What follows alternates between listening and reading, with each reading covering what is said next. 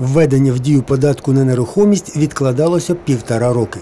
До відповідного закону вносили зміни. Тепер не підлягають оподаткуванню квартири та житлові будинки, площа яких менша за 120 та 250 квадратних метрів відповідно, і дитячі будинки сімейного типу. Однак є умови. Пільга не розповсюджується на об'єкти нерухомості, житлової нерухомості, які використовуються з метою отримання прибутку. Тобто, якщо людина а, має будинок чи квартиру, чи кілька квартир, які використовують для себе, чи може там живуть її родичі, це одне. Здає або будинок, або квартиру у найм і отримує, з цього прибуток, то тут пільга не розповсюджується.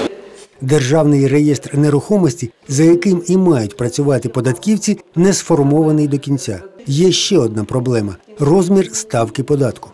До кінця 2013 року міські, ну не зовсім наші органи самоврядування, міські ради е, мають визначитися е, зі ставками, е, ставками з податку, тому що ставки цього податку визначаються не на рівні держави, а кожною територіальною громадою окремо на своєму рівні. Працівники Міндоходів закликали своїх колег з інших держустанов та нотаріусів, що завіряють договори про операції з нерухомістю, інформувати потенційних платників податку. Можуть в подальшому виникнути така ситуація, що ми до 1 липня почнемо направляти вже всім податкові повідомлення.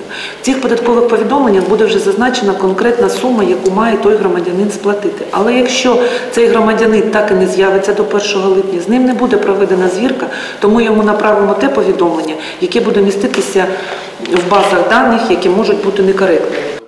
Така ситуація може призвести до судової тяганини, яка не піде на користь ні боржникам податкової, ні самому Міністерству доходів і зборів. Працівники Міндоходів самостійно виявили у цьому році більше тисячі потенційних платників податку на нерухомість, які не були внесені до загального реєстру. Однак представники управління юстиції не схильні проявляти ініціативу, якщо вона не прописана на папері.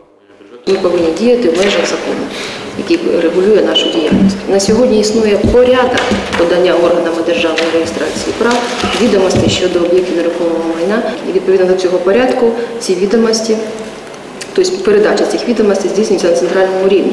Є таке, таке поняття італійська забастовка, італійський страйк. Він полягає в тому, що от, е, люди роблять виключно те, що написано в інструкції. В подальшому Олександр Семченко попросив усіх присутніх працювати на конкретний результат, а не вишукувати пункти законодавства з метою ухилення від роботи. Ігор Тельцов, Олександр Самотой, АТВ.